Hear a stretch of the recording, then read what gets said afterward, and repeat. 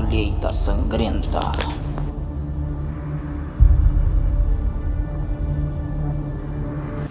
Fábio era um fazendeiro de 62 anos que morava em uma fazenda com sua esposa e filhas. Fábio gostava muito de seu trabalho, pelo seu avô e seu pai terem seguido suas carreiras naquela mesma profissão.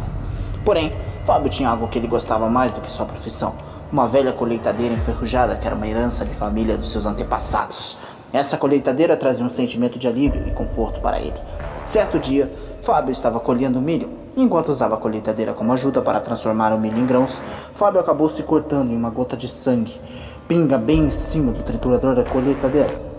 Fábio não se importou muito e cuidou do ferimento. Porém, indo para casa, após esse dia, Fábio nunca mais foi o mesmo.